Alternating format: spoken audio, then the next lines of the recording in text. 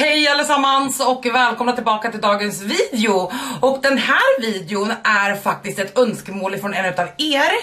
Och det här är helt enkelt en video där jag går igenom alla märken som jag har testat från en hemsida. Idag är det Sephora och berättar min bästa produkt från varje märke. Superrolig idé och om ni gillar det glöm inte bort att lämna en kommentar och tryck tummen upp så gör jag definitivt flera hemsidor. Nu kanske man inte kan göra typ Lyko som har typ så här, jag vet inte 600 märken. Men idag kör vi i alla fall Sephora och jag har två stycken så här stora backar framför mig. So you are in for a treat. Och den här videon kommer definitivt att bli lång. Så, take a snack and let's go. Jag hade lagt allting i ordning från A till Ö, eller Z egentligen. Men nu har jag lagt allt här så jag kommer helt enkelt bara ta det. Hur har jag avgjort vilka märken? jag Först hade jag tänkt att bara ta sminkmärkena för det är de som jag testat allra allra mest och hudvård blir ganska så här redundant. Men sen tänkte jag, nej jag kör alla märken som jag tycker att jag har testat majoriteten utav dem liksom så. Jag testar väldigt mycket smink, väldigt mycket skönhet, väldigt mycket hudvård, väldigt mycket allting. Så jag känner att det här är märken som jag absolut kan säga min åsikt om. Så jag eh, tycker att vi hoppar in. Eh, och jag ska försöka att länka allting här nedanför om ni är sugna på att handla någonting. Eh, mina reklamlänkar finns under varje video men jag ska försöka specifikt göra det. Och om ni handlar via mina reklamlänkar då känner jag en liten profession och jag blir väldigt, väldigt glad. Det första märket då som ligger här överst är märket NARS. Och NARS har ett ex extremt stort utbud av ögonskuggor, kroppsprodukter, eh, basprodukter, läppar, you name it, NARS har det. Men den bästa produkten i NARS sortiment och min absoluta favoritfoundation just nu och har varit ganska länge nu sedan den släpptes är NARS Light Reflecting Foundation.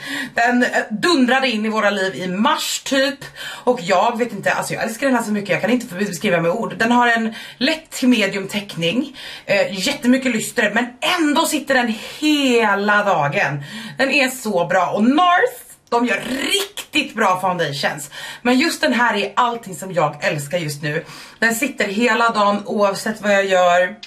Det är liksom fin lyster i sig, jag känner mig inte oljig eller greasy i den utan den återfuktar fint utan att liksom vara överdriven. Och jag tycker verkligen att det här är NARS absolut bästa produkt. Och det säger en del för NARS är ett fenomenalt trevligt märke. Sedan så hoppar vi vidare kvickt. Märket Swatty eh, är från början linser men de har släppt borstar, smink, eyeliner och jag har testat majoriteten, inte deras senaste borstsläpp men annars typ majoriteten. Det finns en till utav de här ögonskuggspaletterna men det här är de tre som jag hade kvar i min kollektion eller som låg liksom där jag hämtade dem nu. De här är så trevliga. Jag har videor med alla dessa på min Instagram. Det här är då den varma som heter Carnelian. Sedan har vi den blåa som heter Azurite. Jag vet inte om jag uttalar saker rätt men den är, oh, den är så himla fin. Den blåa är Magnifique och sedan är det den lila, jag orkar inte öppna fler, men den lila och den heter Amethyst och sen finns det också en rosa. Men jag vet inte riktigt var den är någonstans, den är här någonstans men ja, formlan på de här är fantastiskt, fantastiskt trevliga.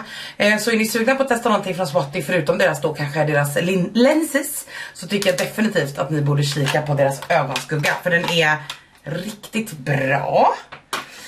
Sedan har vi ju ett av mina absolut mest älskade hudvårdsmärken i hela världen och det är ju Sunday Riley. Jag älskar Sunday Riley, jag tycker de gör extremt bra produkter och eh, jag tog till och med fram en helt ny kartong för ändamålet. Min absoluta favoritprodukt för Sunday Riley om ni ska börja någonstans, det är Ice. Ice är en dagkräm eller en 24 timmars kräm. Jag tror du kan använda en kvällstid också alltså. Eh, oj, nu ramlade lilla lappen ut med ceramider. Den är fet utan att vara dunderfet och den här är bara magnifik. Jag har ingen öppen precis nu för att under sommaren så tycker inte jag att jag behöver den typen utav fett som, eller som Sunday Rail har, som Ice har. Men den är liksom krämig, gooey, helt lovely.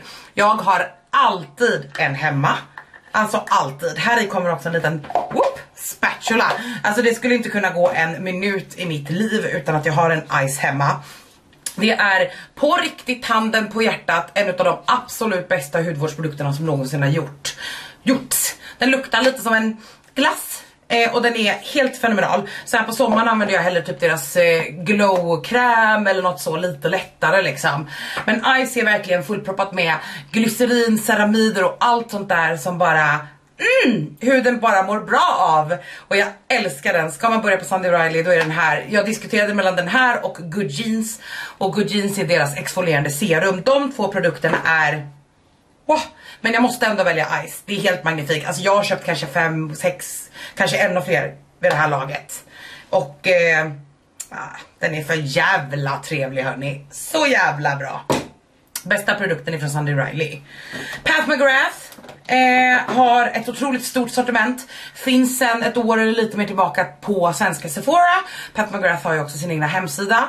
De gör otroligt mycket bra produkter. Pat McGrath är en av världens mest eh, välkända och eh, älskade makeupartister och hon kan verkligen sin grej. Men prislappen är inte för alla och det är inte lätt att börja någonstans. Men om jag tycker att du ska börja någonstans så tycker jag ändå att det är någon utav Mothership paletterna. Jag har tre stycken. Eh, jag har, nu ska vi se här, Mothership Uthopian Dream. Och den här köpte jag när vi var i London. Var den här jag köpte i London? Perhaps. Sen har jag i alla fall, nej det var inte den jag köpte, det var Rosewell. Eller? Det här är i alla fall femman, det är den första som jag har haft. Magnifik. Jag kommer inte ihåg vilken jag köpte i London, jo men det måste, jo men det är Utopian Dream. Åh oh, gud. Jag önskar ibland att jag hade sparat kartongerna på utsidan av Pat McGrath paletterna. För att de är så himla tydliga om vilka det är.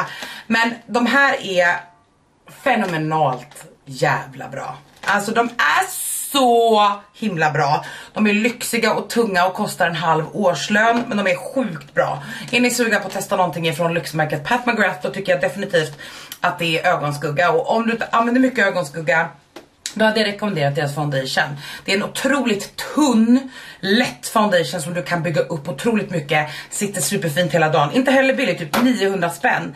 Men återigen, Pat McGrath är verkligen ett lyxmärke. Eh, och jag tycker att Mothership paletterna är liksom the place to be när det kommer till Puff McGrath. Vi har lite Rare Beauty och det här är någonting som jag pratar om varje vecka eh, på min Instagram, kanske ibland varje dag. Och det är ju Rare Beautys Liquid Blush. Det här är det bästa Rare Beauty släppte, jag har flera videor på Rare Beauty på min YouTube kanal. Jag tycker att Rare Beauty är ett väldigt trevligt och roligt kändismärke. Men de här liquid blusherna är marknadens bästa, punkt slut. Det finns inga mer lättjobbade, fantastiskt fina färger, välarbetade, fantastiska förpackningar. Allting som de här. De är helt sjuka. Min favorit är Hope, det är den här. Eh, sen har jag Encur eh, en Eh, en, eh, Encourage, en, Encourage, jag kan, vet aldrig, som är lite kallare. Och sen har jag en riktig, riktig varm en som heter Joy. Och de är magnifika, jag vill ha allihopa, jag skulle kunna tänka mig att köpa allihopa. Jag kanske gör det nästa gång Rare Beauty är med på något erbjudande, vilket de typ i och för sig aldrig är, men de här är helt magnifika, alltså Hope är är det helt jävla sjukt alltså. Jag älskar de här så mycket. Skulle jag bara få välja ett flytande rouge, alltså du får inte testa några andra lalala, då skulle det varit de här för de är så bra. There, it's that bitch. Milk makeup hörni, behöver vi diskutera. Det här är den enda, enda, enda kategorin som jag har tagit två produkter från. För ni kan inte tvinga mig att välja mellan mina barn. När jag säger Milk Makeup, vad säger ni då? Jo, Milk Makeups Hydra Grip och Milk Makeups bronze Stick. Det här är antagligen sista två åren mina mest använda produkter i min sminkkollektion. Den här storleken på Bronzer Stick säljs inte längre. Jag eh, öppnade en ny i den här storleken i våras som jag hade sparat för att jag visste att de skulle utgå, de stora. Men de finns i mini och ärligt talat bli inte rädda av mini. Den kommer räcka i så jävla länge. Den här är absurd alltså. Och Milks Hydra Grip är liksom This is where it's at. Det är inte ofta som jag pratar om många andra primers på min kanal. Jag gillar egentligen tre stycken. Det är Smashbox Primerizer, Milks Hydra Grip och eh, eh, vad heter det? Åh oh, gud, Budgies Prep Talk, sorry.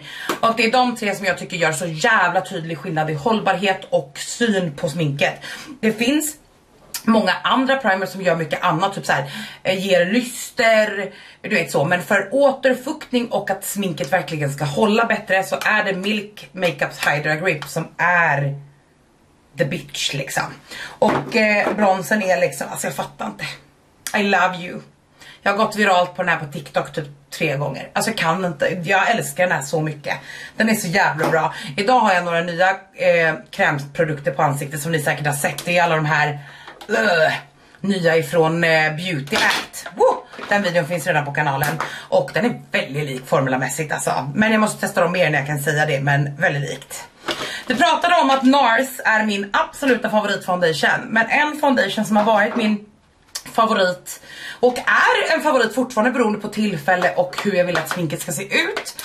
Det är Urban Decays bästsäljare, eller i min mening bästa produkt, Stay Naked eh, Weightless Liquid Foundation. Det här är bara den ena färgen och jag har skakat dem lite men alltså jag jag älskar de här! Om jag, nu har jag frilansat en hel del med mitt makeupartist i sommar, sommar och då har jag faktiskt haft Stay Naked med mig. Men om jag skulle börja frilansa på riktigt igen, alltså börja ta kunder på rullande band och då är det den här foundationen och NARS som skulle vara mina huvudsakliga foundations. Den här är mer fulltäckande, den är högtäckande, kanske inte riktigt full. Det går nog att bygga upp den till fulltäckande om man vill. Satinfinish så inte direkt glansig, inte direkt matt. Passar alla hudtyper och då menar jag alla hudtyper beroende på hur du jobbar med den. Magnifik foundation eh, finish, magnifik foundation färgutbud. Helt jävla fenomenal. Det här måste vara den bästa Urban Decay någonsin har släppt. Den är så bra. Jag har två här, jag har 21 en och 41 en i min personliga liksom kit. 21 är så ljus som jag blir, det finns också ljusare. Och 40 mycket brunare än så brukar jag då jävlar aldrig bli. Och sen blandar jag dem däremellan. Så jävla bra.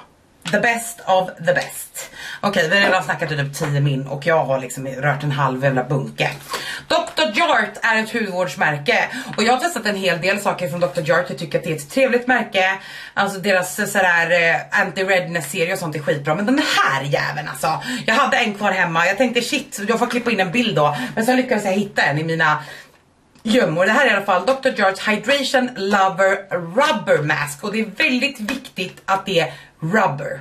För att den här är magnifik. Den här är en sån här sheetmask som ska sitta på ganska länge. Jag brukar ha den på mig när jag typ badar och så. Eh, den glider inte av så här sitter fantastiskt bra och lämnar min hud så jävla återfuktad. Den här är ganska dyr och därför ingenting som jag använder liksom på en daglig basis. Eh, men det här är en sån här grej, dagen jag gifter mig liksom så är det stor chans att det är den här som går på på morgonen liksom. Så djup återfuktning och huden är så plumpad och återfuktad efter. Den är så så bra. Så så bra, verkligen. Så Dr. Jart, you did really good på den här alltså. Sjukt sjukt bra. Ilia har vi gjort videor på på kanalen. Ilia är ju ett relativt nytt märke på svenska marknaden och de har mycket hudvårdsfokuserad smink. Det är smink, kosmetik liksom så, men de är väldigt hudvårdande. Och deras bästa produkt tycker jag är deras Super Serum Skin Tint SPF 30.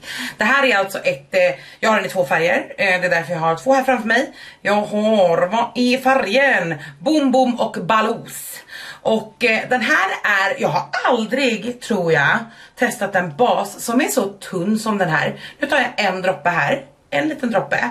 Det är minimum på täckningen, det är verkligen en lättäckande produkt och den är så tunn. Alltså den, jag kan inte ens, jag kan inte förklara det, hur tunn den är. Nu känns den inte överhuvudtaget. Den är så tunn, så lättarbetad. Vill man bara jämna ut huden, då är det här en dröm. Man behöver så lite. På riktigt tre droppar om man bara vill liksom jämna ut huden lite. Dupp, dupp, dupp. Och den är så, så, så fin. Så det är väldigt sällan som jag sminkar mig så tunn täckning. Jag gillar ju mycket ögonsmink, mycket basmink, mycket smink, punkt liksom. Men ibland så vill man bara se put together ut. När jag jobbade mer, alltså jag jobbar ju varje dag, men när jag jobbade för någon annan och var anställd, då gillade jag den här typen av look väldigt mycket. För att det är så otroligt lätt att använda. Några duttar, blända ut med fingrarna, kanske sätta med lite puder och sen är du liksom good to go. Och det ser, det är så nice. Så för alla stressade småbarnsmorsor eller farsor för den delen. Eh, Ehm, orkar inte sminka mig för skolan men jag vill ändå se bra ut. Alla den typen av människor som bara, jag hinner inte, jag orkar inte, jag vill inte. Den här är för er, för den bara jämnar ut och den är så trevlig. Det är också jättetrevligt att den har saker som eh, SPF givetvis. Eh, niacinamid, squalane, hyaluronic acid. Skitbra. De säljer också Foreo på Sephora. Och eh, jag älskar Foreo. Min absoluta favoritprodukt ifrån Foreo är deras Foreo UFO. Det är länge sedan jag pratade om den på min YouTube-kanal tror jag, men jag älskar den lika mycket nu som dagen jag köpte den här för tre år sedan kanske. Jag har bott i Göteborg förresten i tre år, nu har vi flyttat tillbaka till Kalmar nyligen och den här köpte jag innan, när vi bodde i Kalmar sist. Så jag har inte den allra nyaste varianten utav en Foreo UFO, men alltså den är magnifik. Alltså det här är en så jävla vardagslyck, man sätter alltså en liten mask på den här och sen så har, kör man ett program och vibrerar över huden och den är magnifik. Och folk kan vara såhär, ja men använd bara en sheetmask. Absolut, gör det! You do you! Men det här är liksom en lyxig, lyxig, lyxig stund för dig själv. Det går fort, jag behöver inte sitta liksom i soffan och bara, ah, jag har en jävla mask på mig. Förstår du vad jag menar? Det är inte för, jag har inte tid med det jämt, jag har inte ork till det jämt, jag kan inte sitta där och vara tyst. Det är inte min grej. Och den här är magnifik, 90 sekunder typ, plupp, plupp. Huden är så jävla bra. Varför är jag så röd här? Har jag slagit mig själv här under tiden som vi har eh, spelat in den här? Foreos bästa produkt, punkt slut. Älskar dock Luna, alltså vanliga rengöringsmaskinen. Men ja. Åh, oh, det rinner också om mig för jag är svettig. Det är 30 grader varmt här idag när jag spelar in det här. Även om det börjar bli lite eftermiddag så it's not helping. Huda Beauty gör så mycket bra produkter. Men Huda Beauty bästa produkt är Tan and Tone tänkte jag säga. Den heter Tantor och det är en contour och bronzing cream. Och återigen, jag vet inte hur många videor jag har använt den här i. Får jag bara välja en enda sak från Huda Beauty och det finns många bra. Bara den här senaste var jag nära att ta men jag tyckte att den var lite lite för ny. Men det här är deras nya Faux Filter Concealer. Det här är ett jävla hårstrå. Den har jag på mig idag.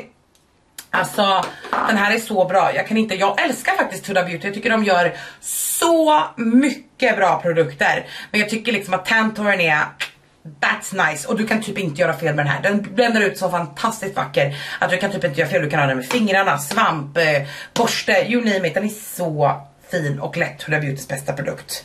Och när vi pratar om Huda Beauty, de ligger faktiskt under två olika kategorier.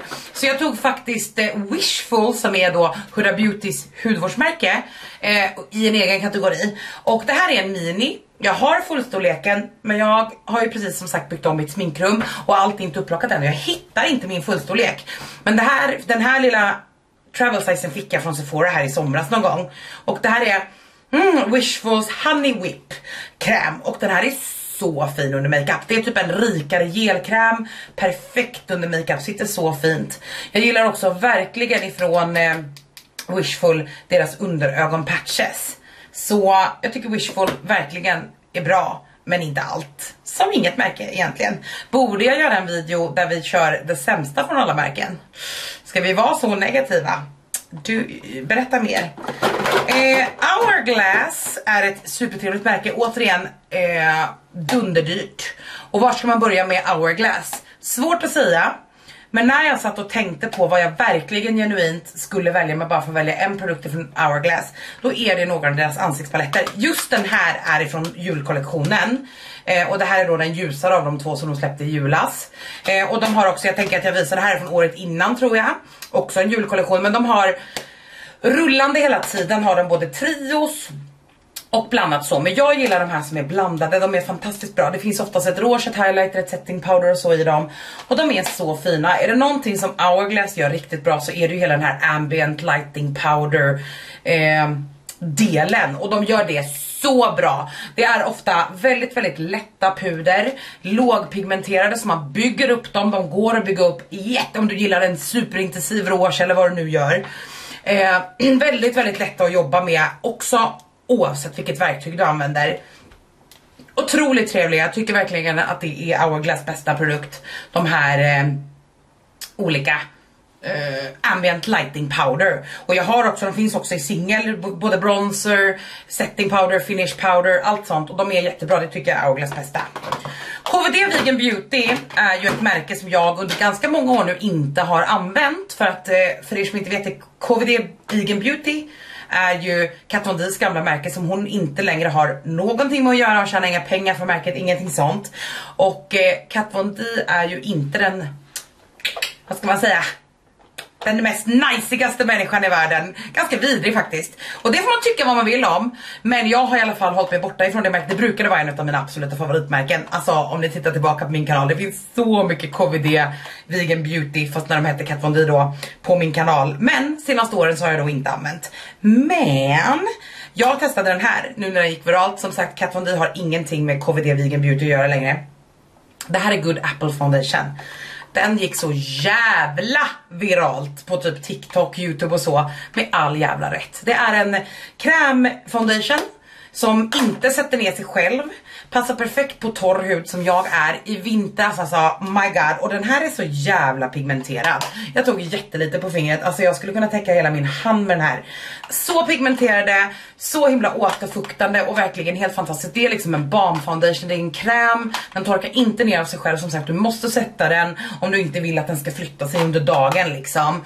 Och på min torra hud så är den här magnifik. Det här är en sån här produkt som jag också om jag skulle börja frilansa igen anytime soon skulle köpa hem några färger färger och liksom använda för att mixa och matcha konsistenser med andra och så. Så trevlig formula och jag tycker verkligen att den här är så bra. Och nu är jag väldigt, alltså pepp på KVD Vegan Beauty igen. Så jag är lite sugen på att testa fler saker. Så är ni sugna på att se någonting speciellt så let a girl know. Men det tycker jag är den bästa produkten som de har. Och då är jag inte super inne i deras, oj förlåt, i deras senaste sortiment, eller vad man ska säga. Jag är liksom inte helt caught up. De har säkert jättemycket bra produkter. Jag har bara inte kommit dit. Håll er bara borta ifrån oh, Good Apple Concealer. Den är inte fin. Fy fan. Makeup Forever är en riktig kultmärke. Det är ett kultmärke som alla makeupartister vid alla tillfällen har alla testat. De har så himla trevliga produkter och så. Men de har senaste året, senaste två åren kanske gjort en omformulering på i stort sett alla deras produkter inklusive deras den här. Det här är alltså deras HD Skin Foundation och därför så det här är egentligen inte min rekommendation. Jag tyckte om den här men inte mer än tyckte om. Jag tog bara fram den för att jag skulle ni skulle få en bild av Makeup Forever. De har alltså formulerat om nästan allt sitt smink till att vara så här naturligt med naturliga ingredienser och så och det är inget fel på det. You do you, om du tycker att naturligt är bättre, gör som du vill. Problemet med naturliga ingredienser är att det finns ofta väldigt mycket allergener och saker som jag och många, många andra är känslig mot. Jag har fått eh, allergiska reaktioner på ganska många utav Makeup Forevers senaste produkter. De nya primersarna, eh, den eh, foundation, watertone foundationen, eh, ögonpennorna, bryngelen, Eh, så att Makeup Forever är helt enkelt inte ett märke som jag längre kan rekommendera av den enkla anledningen att Oh, jag tror att de har gått lite för långt i hela sitt naturliga. Det är mycket eteriska oljor, det är mycket sånt. Och ur ett makeupartist synpunkt så skulle jag aldrig kunna ha den typen av produkter i mitt makeupartist-kit. Det är alldeles för stor chans att jag kommer till set, sminkar en person och den får en allergisk reaktion. Även om inte det, en allergisk reaktion betyder inte att man svullnar igen och håller på att dö och åker till sjukhus utan en allergisk reaktion kan vara klighet, rodnad, svullnad, vaglar, massa sånt och det är ingenting som jag hade riskerat. Vilket jag tycker är synd för det här har ju liksom varit en av världens mest sålda foundations med all jävla rätt. Och den här är bra, jag har inte fått några allergiska reaktioner men bara för att inte jag får det så betyder det inte tyvärr att inte någon annan skulle få det. I'm sorry. Inkilist och The Ordinary säljs ju numera på eh, Sephora. Och The Ordinary tog jag inte fram någon produkt av den enkla att jag har inte så mycket The Ordinary hemma. Jag har dock testat väldigt, väldigt, väldigt, väldigt mycket ifrån märket. Men det är, jag kommer inte 100% överens med deras produkter. Och eh, ja, nej men så att jag vet inte. Jag hade nog mycket hellre valt Inkelist framför eh, Inkelist framför The Ordinary. Och det är inte jättestor skillnad i prispoint. Inkelist är väldigt prisvärt och det bästa från deras märke som jag har testat, och jag kanske har testat ett, de har ett ganska stort sortiment, jag kanske har testat mellan 5 och 15 produkter. Snarare typ så 10-12 kanske, men jag vågar inte säga det säkert.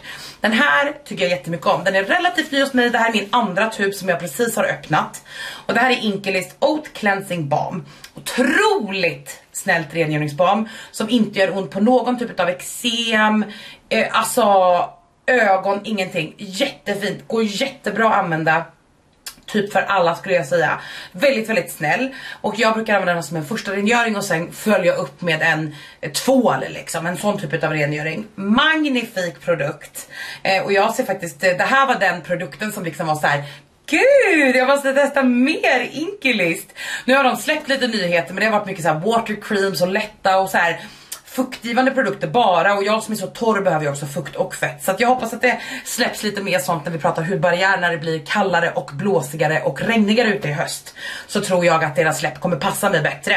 Men jättetrevlig rengöring, jag förstår verkligen varför det här är en bästsäljare. Living Proof, eh, hårmärket som Alltså hela världen känns det som har ju testat deras torrschampo. Jag vet inte hur många hundratals gånger jag har rekommenderat det. Men jag måste säga att deras senaste torrschampo som heter Perfect Hair Day, precis som originalet i grå flaska. Det här är deras Advanced Clean Dry Shampoo. Och det här är precis samma grej tycker jag, men den doftar ingenting. Eller minimalt. Alltså det är såklart lite, lite, lite, lite, lite, lite doft som det är på alla typer av såna här produkter. Men det är ingenting mot originalet. Originalet kan vara ganska stark, mycket kick, mycket doft, mycket så. Och det är, har inte den här på alls samma sätt. Så jag älskar den här. Living Proof gör marknadens bästa torrschampo. Det finns jätte, jätte, jättemånga bra torrschampon. Men Living Proof gör det allra bästa. Och den här Advanced då som de har minimerat doften på. De vet vad de gör alltså. It's really good. Viseart är också ett sånt här ganska dyrt märke och den här alltså. Gillar ni färgglada skuggor alternativt jobbar med makeupartistande då är det hit ni ska gå. Det här är Editorial Brights. Eh, deras färgglada, de har också en som heter Editorial Colors eller Dark Matters kanske, men så som är liksom regnbågen fast det är mer mm, de är inte nödvändigtvis mörkare, de är bara mjukare. De här är väldigt skarpa primary colors regnbåge. Och den sån här typ av palett tycker jag att alla makeupartister borde ha. Eller liksom makeup-älskare, även om du är en neutral älskare. Ibland kan det vara så här, åh jag har en sotning som är lite för eh, kall, jag behöver ha i någonting varmt, då tar vi lite gult, lite rött, lite orange kanske. Och det är så här, att man kan ha någonting att, att fixa till sitt andra smink med är otroligt bra. Eller den här pop of color, du vet det har varit mycket trendigt att ha lite färg du vet längst in och så. Magnifik. Och de här är ju också då magnetiska så det är ju bara att upp, ploppa upp dem om man skulle vilja ha dem i någonting annat. Eh, supertrevlig och Visearts formula är verkligen så himla bra. Och eh, jag har testat ganska mycket från Viseart men deras grej skulle jag huvudsakligen säga är ögonskuggor. Och de gör ögonskuggor fantastiskt bra. Det här är min privata men jag har också en i mitt makeup-artist-kit som är betydligt mer använt än vad den här är. Ett till hårmärke är ju Color Wow. Color Wow är ett riktigt så här kändis och influencermärke. Syns överallt oavsett vilken plattform du öppnar. Vi pratar Instagram, vi pratar TikTok, vi pratar YouTube. Och jag har återigen rekommenderat den här hundratals gånger. Jag kommer fortsätta rekommendera den här hundratals gånger. Det här är en spray ifrån Color Wow som heter Dream Coat. Och hela principen med det här är att du lägger i, du tvättar håret. Du lägger i det här i håret. Eh, ganska rikligt så att det täcker hela hårstrået. Borstar igenom fönar och aktiverar då den här produkten med värme. Vad då den här produkten gör är att det kapslar in håret i hela 3 till 4 tvättar. Så du behöver alltså inte använda den här varje gång efter duschen. Eh, kapslar in hårstrået eh, utan att påverka ditt, din typ frisyr eller du vet så. Så kapslar in, håller borta fukt, ger glans och stärker håret genom att skydda håret.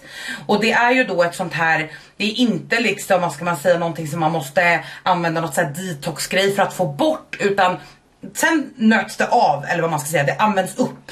Eh, sjukt trevligt och jag märker så stor skillnad. Nu på sommaren, du vet, jag är så jävla svettig. Idag är det 30 grader varmt så det var inte lönt. Det är så varmt så att jag bara, jag är lite svettig här, jag har bara rullat upp håret men allt där, jag är så svettig mycket, det är väldigt fuktigt, vi bor vid havet.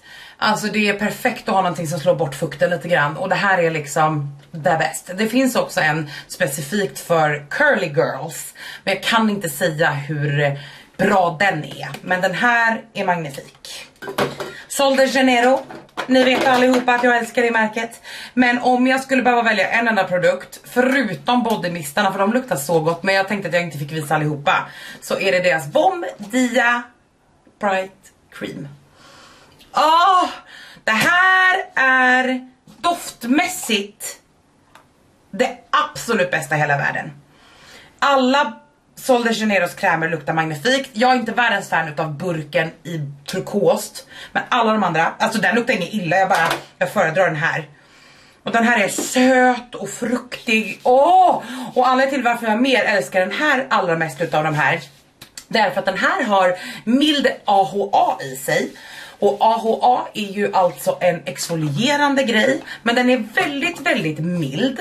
Så att man behöver inte vara rädd för att man överexfolierar. Men det ger huden en chans att sjunka ner ännu mer fukt och slussa ner det i huden. De här är magnifika och värda varenda krona. Sol de Janeiro är liksom, mm, magnifik. Jag har alla bodymister också, jag tänkte att jag skulle göra något typ av content med dem framöver. Men, om jag bara får välja en, då är det den här. Och det är svårt för Sol de Janeiro är ett märke där jag älskar typ allting. Jag har inte testat deodoranten, jag har inte testat torrschampot, annars har jag testat typ allting. Och eh, mm, ja, jag älskar dig så mycket Boo. Jag gör det, jag gör det. Natasha Denona, där är vi på ögonskuggorna. Det här är mina favoritneutrala paletter och det här är egentligen, anledningen till att jag tar fram två, eh, det är inte för att eh, du behöver båda utan det här handlar bara om om du föredrar varma eller kalla skuggor. Här har du alltså glam och här har du brons. Formulan på de här två paletterna är identiska skulle jag säga, men den ena är varmare och den andra är kallare. Glam är inte iskall, det är liksom fortfarande bruna skuggor, men de drar åt kallt. Ni ser ganska tydligt värmen i den här och kylan i den här, men de är inte gråa på det sättet. Några är, men ni har ändå det här bruna neutrala. Formulamässigt en av de bästa neutrala paletterna på marknaden, eller det är det tror jag. Den enda som kan slåss, och den har vi också i den här lådan, är ju Soft Glam från Anastasia Beverly Hills. Eh, och ärligt talat, jag, jag kan inte svara på vilken jag skulle svara på, eller vilken jag skulle välja. Jag tror att det kommer fram till beroende på vilka färger man tycker om allra allra bäst. Men de här är helt fantastiska, Natasha Denona har mycket bra produkter men mycket är lite som Pat McGrath också. De är bra, de är lyxiga, de är så, men är det verkligen så jävla stor skillnad på en 700 kronors foundation som en 300 kronors? Jag vet inte om jag tycker det. Nej, i det fallet. Inte, jag vet inte om det är tillräckligt mycket skillnad att jag tycker att det är värt det, men de här är enligt mig värd varenda krona. Alltså varenda krona. Eh, jag har ganska många Natasha Denona paletter men de här två är liksom Ja de är outstanding. De är så jävla bra. Så jag kan inte beskriva med ord alltså. My god, they are beautiful. Jag har så mycket kvar hörni. I hope you buckle up. Lövengrip säljs på Sephora numera.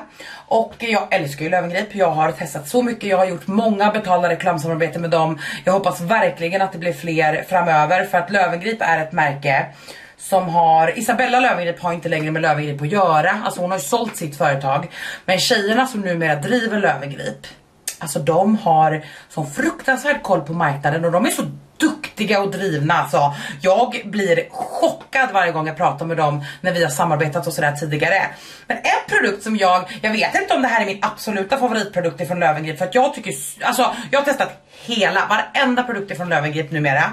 Och jag tycker så mycket om så mycket av deras produkter. Men jag har använt den här så mycket och jag åkte, den, den här produkten tog slut för kanske en månad sen och klockan var typ 20 i 7 på kvällen och affären som, den sista affären som säljer lövengrip i Kalmar stänger 7. Du vet jag var så jävla galen, jag åkte en morgonrock på cykeln för att åka och köpa nya, bara jag kan inte fixa håret klart ikväll om jag inte har den här, jag kan inte.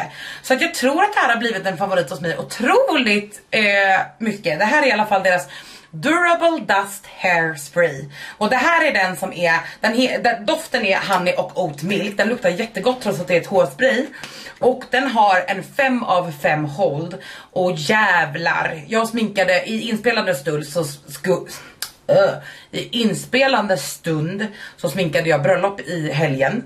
Vi var en hel hög tjejer som eh, blev sminkade i, och fixade håret på. Och alla använder den här, eller jag använder den här på allihopa och håret satt hela dagen. Det såg ut som precis som det gjorde trots 30 grader varmt. Och den här är bara, ja den är så jävla bra. Den är så jävla bra! Verkligen. Lövengrips bästa produkt, tror jag allt. Jag tror det. Too Faced då? Too Faced är ett märke som också säljs ex exklusivt på Sephora i Sverige. Och eh, jag har ju tyckt att Sephora, eller att Too Faced har liksom inte släppt någonting roligt på ganska många år. Men sen så blev jag lite chockad över hur mycket jag tyckte om den här. Jag fick den kanske i våras, kanske i julas till och med. Och jag har använt den så mycket. Den här hade jag också med mig, exakt det här exemplaret faktiskt och sminkade i, i helgen som jag pratade om. Det här är deras Sunset Stripped Born This Way palette. Den har Trots att den är neutral så har den ganska unika neutrala grejer tycker jag. Du har ju det här mörka så, sen kommer lite av det här roströda tillsammans med det neutrala bruna och koppar och det.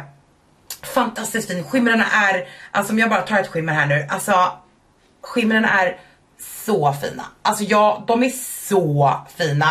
Och den, man kan göra så mycket med den här paletten. Jag har verkligen tyckt jättebra om den här. Och jag är lite chockad över hur mycket jag tyckte om den för att jag öppnade den och bara gud vilken tråkig palett. Men jag har använt den jättemycket och den har fått följa med på alla resor tror jag. Sedan jag fick den. För den här har jag fått av Sephora och Too Faced. Eh, möjligtvis att den inte följde med till London. Möjligtvis. Men annars, den följde med till Amsterdam. Den var med när båda, båda våra semestrar nu i sommar. Den kommer antagligen följa med till Rhodos i augusti. Alltså nej den här är magnifik. Magnifik faktiskt. Riktigt fin. Pixie säljs på Sephora. Eh, Pixie har jättemycket bra produkter och tyvärr lika många dåliga produkter måste jag säga. Jag tycker att eh, Pixie har släppt varannan dunderprodukt och varannan riktigt skräp sista året och jag tycker det är tråkigt. För att jag hejar alltid på Pixie. Men de här är så jävla bra. Jag har två färger, jag tror att det finns tre. Eh, det är en som är, ah, ah, ni ser ju här på kartongen. En som är röd eller orange och en som är baby pink. Och de här är magnifika. De är väldigt lik den här typen av finish som jag har på min kind nu idag. Väldigt glossy, nästan lite såhär gelkonsistens. Så lätt att använda superåterfuktande, magnifika. Och jag älskar väldigt mycket från Pixie. Alltså, jag stod och höll i tre eller fyra andra produkter som jag var så här, men gud vilket ska jag plocka fram? Men jag skulle ändå säga att de här är ganska unika också just med den här gelformulan just. Det är inte en kräm så, utan det är en gel. Min kamera överhettades så att jag hoppas att allting kom med. Nästa märke som vi ska prata om är embryolis och eh, det här är ju någonting som jag pratat om otroligt mycket. Det finns en enskild video på Instagram om bara den här produkten, på TikTok också. Jag har pratat om den och använt den massor. Jag tycker att det här är en helt fantastisk produkt och det här är en multiprodukt ifrån embryolis som är eh, återfuktande, man kan använda som en primer, som en mask på nagelband och du vet så. Och den är bara så trevlig under smink och det är verkligen en helt fantastisk produkt. Den har cheasmör, aloe vera och massa saker som både lugnar och återfuktar alltså huden på djupet liksom. Och det här är en ganska ny och fin eh, tub. Eh, och jag älskar den här, jag har använt den så mycket. Alltså jag pratade om den första gången tror jag för fem år sedan på min kanal. Och eh, ja, den är så bra. Vad är det här då? Ska ni se här igenom tycker ni? Nej, jag har ju den där av en anledning. Shiseido finnes på Sephora. Det finns jättemycket bra produkter från Shiseido men det finns ingenting som Shiseidos fransbyare. Det är the best. Den här fransbyaren har jag haft sedan jag fyllde 20. Och den är lika bra idag, man får byta ut den här lilla puffen emellanåt. Men den är så bra, den är inte vinglig, den är ingen svår att använda, den är perfektion. Den har perfekt böj på dem. Jag har en också i mitt makeup artist kit. Den är... I love it so much. Benefit är ju en av mina absoluta favoritmärken och det finns säljs ju också exklusivt på Sephora i Sverige. Och eh, den här har ju jag pratat om så många gånger. Rollerliner, det är liksom det Åh, oh, det är marknadens bästa eyeliner, den är så bra, jag vet inte. Den har varit årsfavorit typ tre år i rad. Eh, Pratar om den alltid när vi pratar favoriter och du vet sådär, det går liksom aldrig över. Och jag var lite osäker på om det här klassas som fusk, men då får det väl vara fusk då. Men jag tycker också att det här är lite personlig preferens För de har släppt en ny eyeliner och den här heter The Real Extreme Precision Eyeliner. Och jag älskar båda. Eh, och notera dock att rollerlinen har jag haft alltså, jag vet inte, 20 stycken, jag vet inte om det räcker. Men rollerlinen har en så kallad fälttipp och den nya Liner Extreme The Real har små hårstrån. Det betyder alltså att det beror på personlig preferens. Och därför vill jag prata om båda. Benefit gör extremt bra eyeliners. Eh, jag skulle också säga att en stor fördel med The Real är att den är vattenfast AF. Vi snackar du, Cry Me A River, den sitter där och den är så bra. Beauty blender finns på Sephora och jag tog bara fram en splittans splojsans ny beauty blender. Alltså den här är liksom It's the OG! Det är här vi har svampar att tanka idag. Innan beauty blender kom in i våra liv så använde vi allihopa antingen våra händer eller såna här trianglar som jag i och för sig fortfarande använder när jag är makeupartister och så. Men alltså livet blev aldrig detsamma igen och beauty blender är Oavsett vad någon säger, marknadens bästa svamp. Det finns en anledning till varför beautybender är leva, äh, ledande. Det är de som har tagit in det här på marknaden. Det är liksom, this is it. Om man tycker att 199 kronor typ, det kan man få tag i en för är värt det så you do you. Ni vet ju att jag har favoriter för 79, 89 som jag jättegärna älskar och använder. Men det är fan svårslaget med en fräsch beautyblender alltså, de är så bra. Och det är ju absolut beautyblenders bästa produkt liksom. De gör mycket andra bra produkter men ingenting som sin lille svamp. Som sagt, som de är döpta efter. Anastasia Beverly Hills eh, var jag ju på förut, Soft Glam, det här är min nya variant. Jag köpte ju en ny här i våras någon gång eller somras, kanske tidig somras. Eh, det här är världens bästa neutrala palett. Det är min perfekta palett när det kommer till neutrala skuggor. Det finns allting som jag skulle kunna tänka mig neutrala. Skimrarna är bäst på marknaden och matta är bäst på marknaden. Jag har 10, 15, 20, 35, I don't know videor om Anastasia Beverly Hills på min kanal och alla videor börjar med Ja den här är ju bra men soft glam är lite bättre. och jag älskar bara den här så mycket och eh, ni är hundratals, om inte tusentals för det här laget som har köpt den här på min rekommendation. Med all jävla rätt. Den här är så jävla bra. Om ni ska gifta er, då är det den här ni ska ha på er. Bara så vet, om ni vill. Ni får ha på er vad ni vill. Ofra Cosmetics eh, säljs på Sephora. Och Ofra är ju ett väldigt roligt märke men jag vet inte riktigt vad de håller på med. Det är väldigt oklart, ibland släpper de jättemycket, ibland hör man ingenting. Eh, ibland är de lite i blåsväder för jag är lite oklar på varför. Och du vet så här, ibland skickar de ut jättemycket PR, ibland, ibland har jag inte sett någon få ett paket på flera år. Jag har aldrig fått någonting men jag bara, Ofra är ett väldigt oklart märke. Jag tycker i regel väldigt bra om Ofras produkter. Problemet är, tycker jag, att de släpper typ samma saker hela tiden.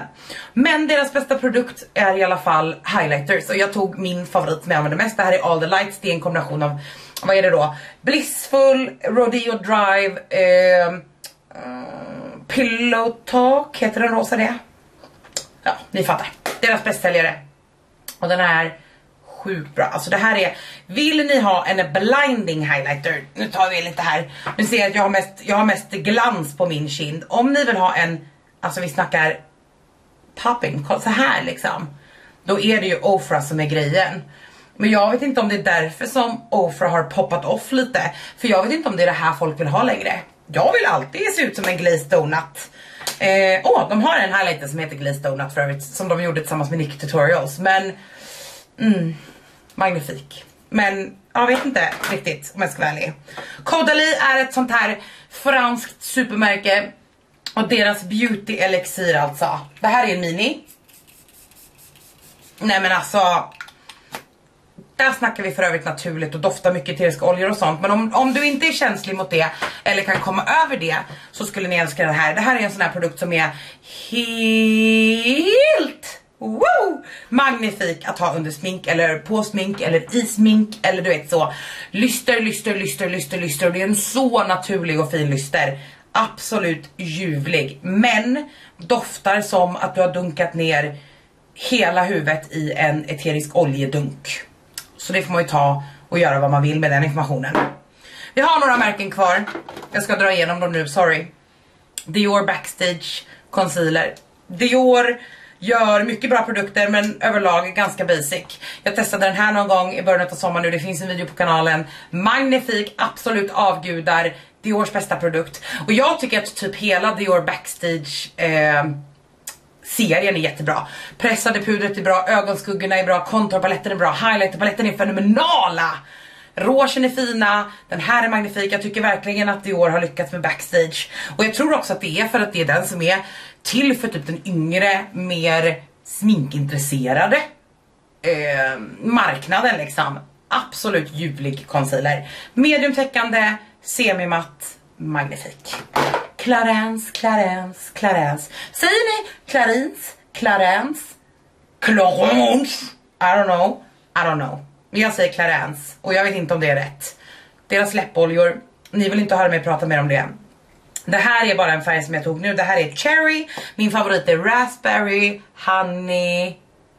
Ja, men den här är ljuvlig. Det finns ingenting som de här. Eh, världens bästa läppoljor. De är återfuktande, lågpigmenterade men ändå färg som ni ser. Så dryga.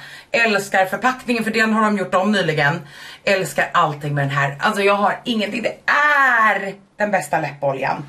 Och det skulle jag ta gift på här och nu. Jag ramlar av stolen här nu och dör. Jag bryr mig liksom inte ens. Den är så bra. Jag har alla färger utom tre eller fyra kanske. Och det är verkligen Clarins bästa produkt och då tycker jag att Clarins har väldigt mycket bra. Idag har jag faktiskt en foundation ifrån dem på mig. Pratade jag om den tidigare eller har jag hittat på det? Nej jag pratade nog om det som jag, i den videon där jag spelade in resten av min bas. Men jag har Skin Illusion ifrån Clarins på mig som för övrigt också skulle kunna ha vunnit den här nu när jag tänker efter. Ja vi fuskar väl på den här då. Det här är också kanske Clarins bästa produkt. Det är Skin Illusion, jag har pratat om den massor. Eh, lätt täckande till medium täckande, supermycket lyster, sitter hela dagen magnifik eh, allting. Jag älskar den så mycket. Men läppoljan alltså. Pop off alltså. Så jävla bra. Jag har två stycken märken vars concealer också vinner. Det är Tarte och det här är deras Ultra Creamy Shape Tape. Jag har ingenting att säga mer än att köp inte original Shape Tape because it sucks. Den här däremot Mm, I love you, I love you.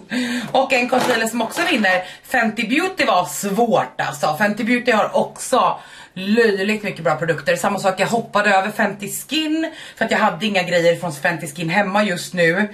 Men eh, de gör så mycket bra produkter. Men det här är min favorit lättäckande concealer. Och som ni kanske ser på den här färgen, jag hoppas att ni ser det, så är det, det här är mellon. Men den är liksom lite correcting. Så att den är inte precis min hudton utan den ska vara lite utjämnande så här då.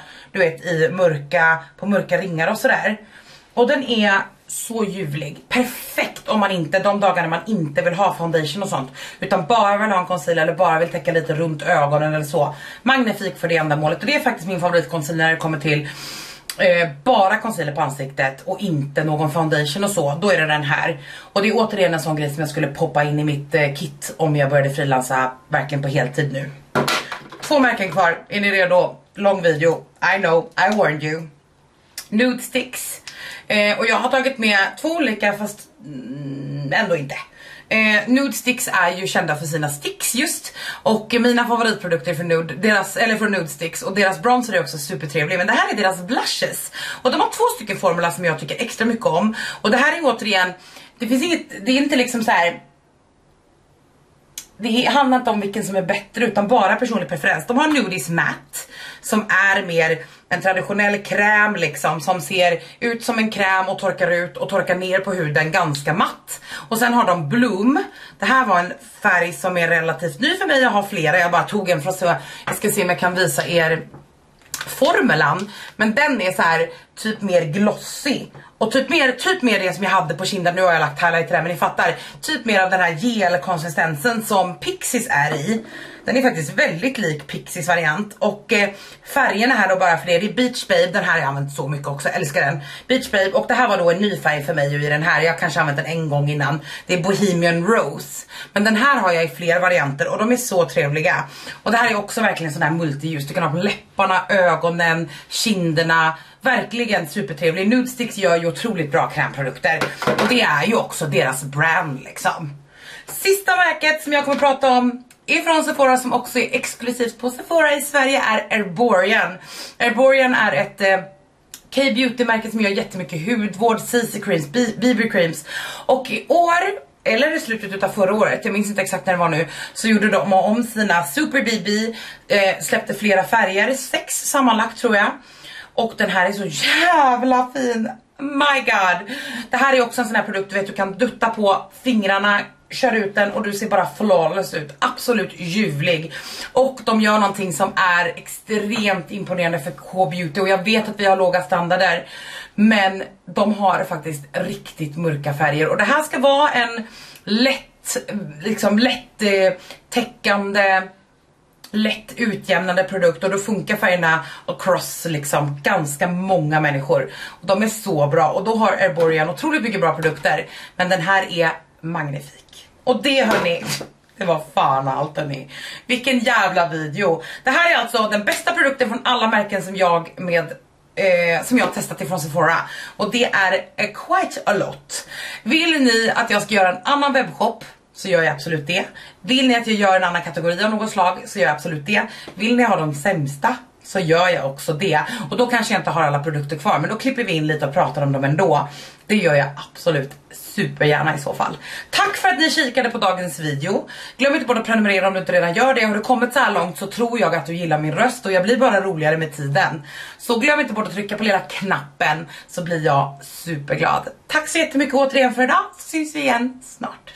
Hej då!